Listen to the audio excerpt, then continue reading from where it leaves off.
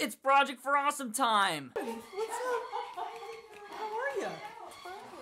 Hundreds of people create videos that advocate for their favorite charities, and thousands of people take part in the goofy and awesome 48 hour YouTube live stream with many, many hosts. As a community, we discuss and promote the created videos, raise money for charity through the Indiegogo campaign, and vote on that money's distribution to decrease the overall level of world suck. If you'd like to learn more, the Project for Awesome home base is right here. This year, my charity choice is Willow's Wings Animal Sanctuary and Rescue, which is dedicated to caring for animals large and small, many of which have been abandoned, neglected, or abused. From their website, this is a home, first and foremost, to all the animals here.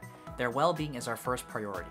We rescue the misfit creatures of the world, the ones who have been left deemed as too much of a manual or financial burden to be worthy of caring for. We treat every life with the dignity and respect they deserve. We stand true to our slogan they may be old, sick, or disabled, but their lives matter too. Do you want to see firsthand what makes them so awesome? Let's go.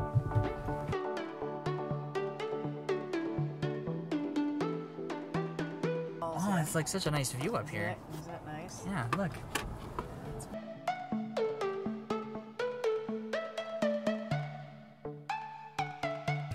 Zoe.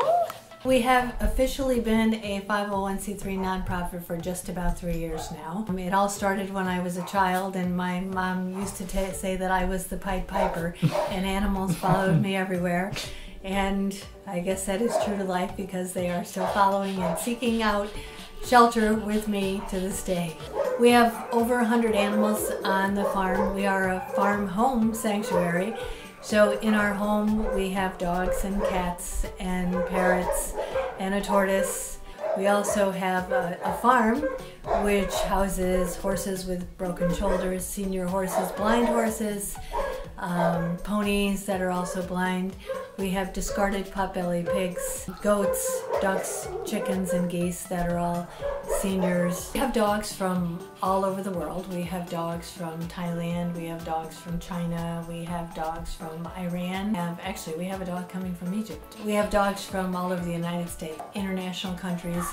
Their flights and their transport is sponsored um, which is a huge savings to us.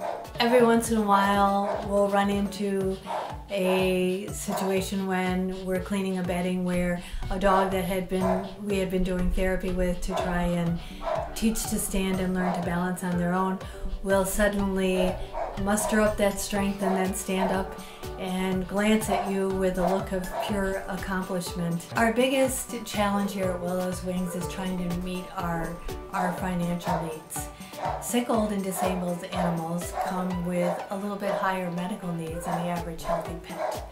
So along with those medical needs comes vet bills, special diets, and all of those cost money. We do not receive any funding from any grants or have not so far. The animals are part of my family and I will do whatever it takes to make sure that I provide the best medical care for them possible. The, the biggest challenge is not only making people aware that a senior or a, a disabled dog still has a very good quality of life, but their quality of life is dependent on medical needs. And it's not a waste to spend money on a dog that maybe a senior dog. If the dog lives one or two years past a much needed surgery, then in my heart I know that I gave that dog the best last couple of years of its life. And there is a concept that people say, well, I'm afraid to come there because I'll be sad. The animals here are very happy. The animals are very well cared for. We try to make every day to them as being part of a, a normal family life and a normal animal's life. And people leave here knowing that the animals are free roaming the entire house. They're part of my entire family. People leave here in amazement that that even though they're sick or they're disabled, they're just like any other happy animal.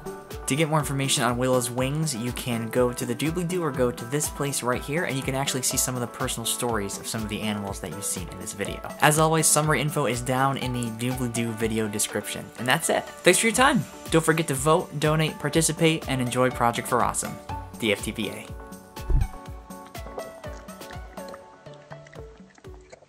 It's a bunch of tail wagging going on over there. I told his mom I was going to video him knowing exactly where he's going.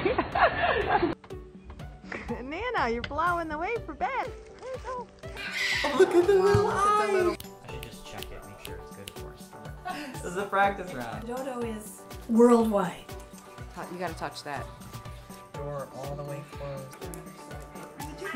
You're right, Jimmy Colored eyes. How, do, how does it feel? How does it feel to be among all the cats? Tortoise and cat. All right with each other? They love each other. They just are constantly, the cats love the hay and they burrow in the hay and then the turtle just walks right over to them. It's the one with the iron burn. Yep, came from San Antonio. Yep. All right. Oh look. Oh look at. Girl.